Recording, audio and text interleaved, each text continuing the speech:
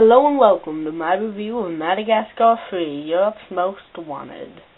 Now, going into this film, I did not have, well, a few, like a week, when this film first came out, I didn't have high hopes for it.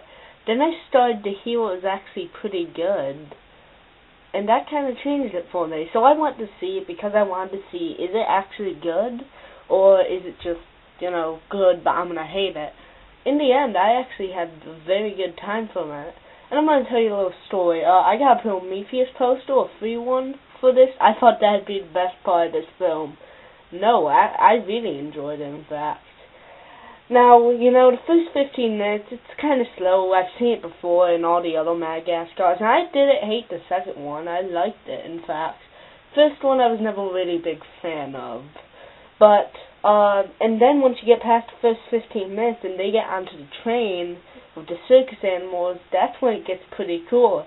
Okay, I want to put this out. Martin Short's in it. He plays like a seal, and uh, the seal he looks just like Martin Short, and he acts like him. I think that's cool. And Martin Short was quite funny in this film. There was funny humor for adults, funny humor for kids. So that's awesome. That's always good to have in there. And I thought that could only happen in Toy Story and Rail and other Rail situations. But no, this film had very good, genuine humor. It wasn't just kiddie humor. It wasn't a generic film. And uh, there were scenes like the circus scenes where they're doing trapeze and stuff. It's all neon and bright. I wish I would have seen it in 3D just for that, because it looked visually stunning, even from not seeing it in 3D. So that's awesome. Not to mention the penguins are back and they are as funny as ever. I love the penguins. They are awesome. They're my favorite characters. I like the relationship, you know, the little romance going on between King Julien, Sacha Baron Cohen, Valimo, and Bale. I, I was silly, but I liked it. Also, there's this Russian, like, tiger, and, yeah, bring some tiger blood in here, but it's not Charlie Sheen.